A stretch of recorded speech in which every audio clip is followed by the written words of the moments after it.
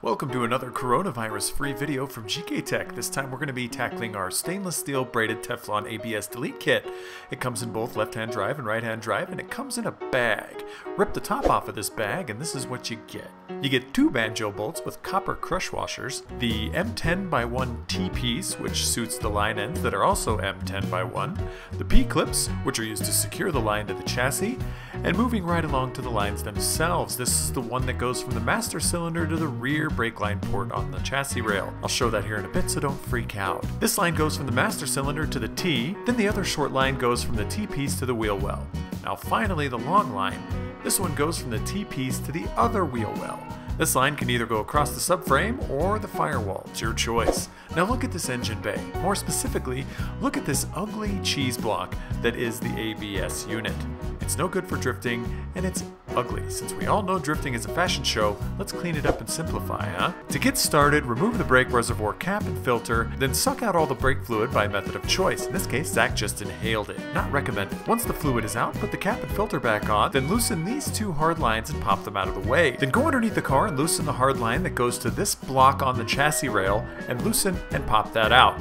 Now head over to the driver's side front hard line and pop that out, then the passenger side front and pop that out as well. It's time to head over to the Spaghetti Square ABS Monster and loosen and remove this hard line, pulling the entire thing out as shown. Now loosen the ABS unit bolts, of which there are two.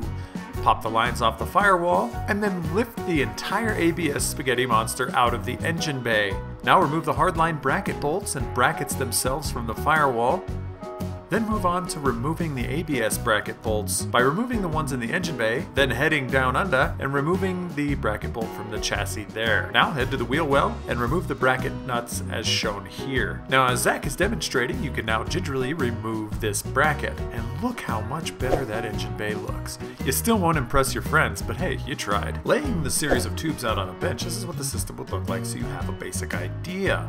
The rear port of the master cylinder controls the front brake lines, hence the T-piece.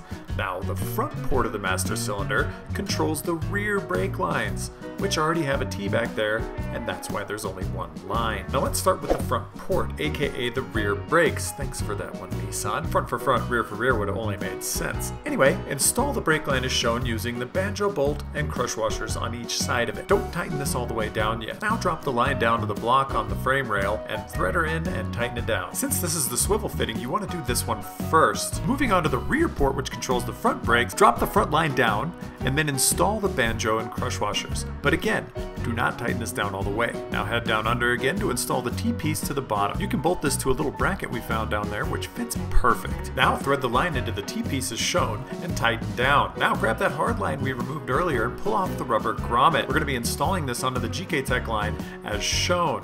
This is the line that goes from the T-piece to the wheel well. Pop that through and thread the line to the fitting, then tighten her down. Pop the grommet all the way in, then thread the line into the T-piece. Now finally, feed the long line through and thread that into the T-piece and tighten it down as well, checking to make sure you tighten the other ones while you're down there. Now we did these first, then the banjo bolts is shown, so we ensure that there's no kinks in any of the lines.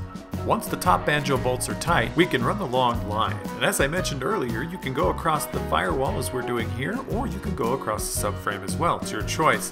Run the line across the firewall down to the other wheel well, then pop the fitting through, thread, and tighten down. Once it's all tightened down, continue running and tucking the line until it's exactly how you want it. When you like where it is, use the supplied P-clips and some self-tappers to tap those suckers home. The more secure the line is, the less flex. The less flex, the better braking you'll have. We recommend using all the supplied clips for maximum anti-flex.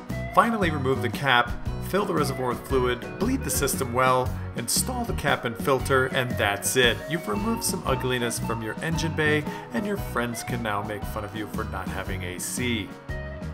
These guys are doing the same things in every clip we show, so follow them on YouTube. And if you can't install this, have a pro do it or reach out with any questions you may have. This has been Officer Dan, Johnny Caps, and Brake Lung Zach with another GK Tech How To. See you next time. Peace.